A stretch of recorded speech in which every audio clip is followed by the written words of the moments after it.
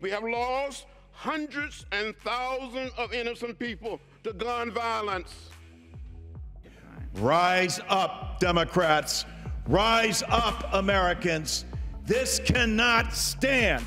We will occupy this floor.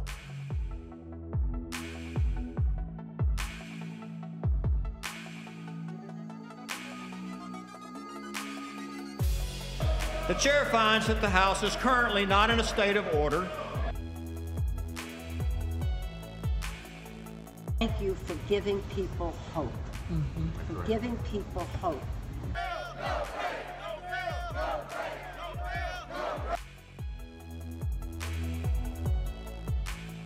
This is nothing more than a publicity stunt. That's point number one. House to be in order. The chair wishes to make an announcement regarding the decorum in the House chamber. I'm tired. Yeah.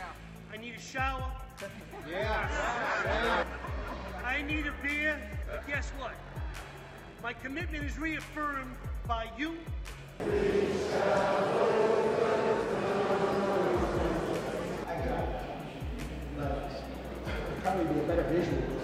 We'll stay here uh, and uh, we'll stay until tomorrow morning and then resume tomorrow. And keep this going for as long as we can and as long as we must.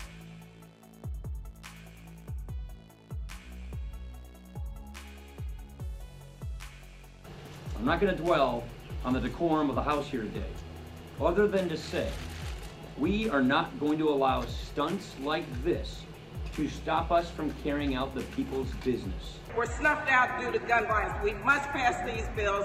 Thank you, Democrats. Thank you, my colleagues. We made some progress. We crossed one bridge, but we have other bridges to cross.